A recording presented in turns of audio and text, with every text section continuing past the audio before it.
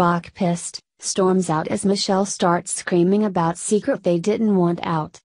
According to shocking reports just emerging, the maids working for the Obama family were recently forced to retreat into hiding as they heard Michelle Obama begin to scream at the top of her lungs. Before long, they heard a door slam as Barack Obama stormed out and left his wife to her temper tantrum, but not before Michelle inadvertently let everyone within earshot know about the dirty little secret that they did not want out, and it's too late now. A shocking series of events has most recently come to light as Ed Klein wrote a book titled All Out War the plot to destroy Trump that is quickly gaining popularity. In it, he exposes a few things the Obama family likely didn't want out, showing that everyone has their own skeletons packed away in a closet, where they hope they will stay. As Mad World News previously reported, Obama is rumored to have retreated to his house, where he's allegedly turned into a bum, smoking weed and playing video games all day. In fact, Klein writes that the former president's friend Barack sees himself as sort of a hipster ex-president, a cool guy.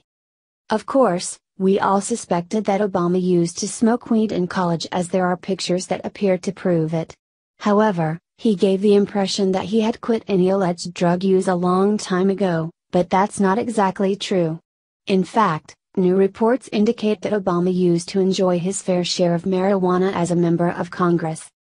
As it turns out, he did supposedly stop using while he was president because he knew it impaired his judgment, but things are back to the way they once were.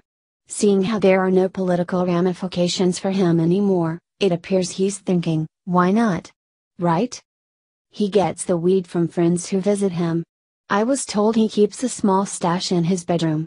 The former president and first lady have separate bedrooms in their Kalorama mansion, he has rolling papers and hasn't forgotten how to roll a joint.